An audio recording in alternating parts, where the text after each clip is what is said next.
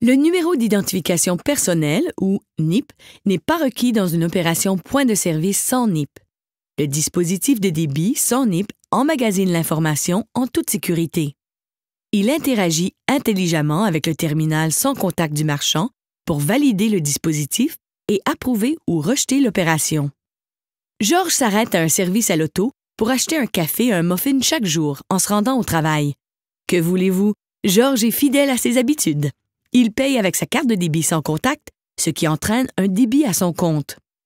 Lorsque Georges arrive au guichet pour ramasser son café, le commis lui tend un lecteur de dispositif ou terminal équipé pour accepter les paiements sans contact.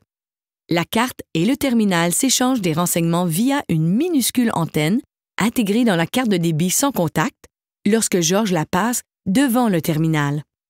Le terminal valide la carte en vérifiant, par exemple, qu'elle n'a pas été altérée depuis que Georges l'a reçue de son institution financière.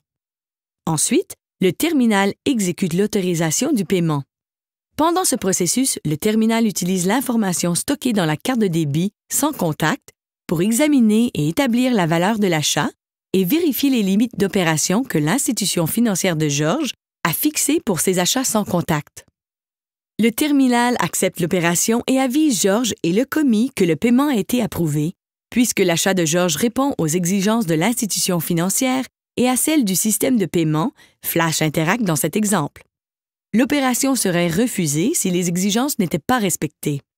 Puisque le paiement est approuvé, les données de l'opération sont générées par le terminal du marchand et les détails sont conservés par le café qui, en termes techniques, est l'acquéreur marchand dans l'opération.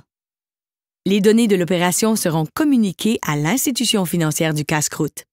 L'institution financière va les utiliser plus tard pour concilier le paiement et percevoir les fonds auprès de l'institution financière de Georges par le processus appelé compensation et règlement.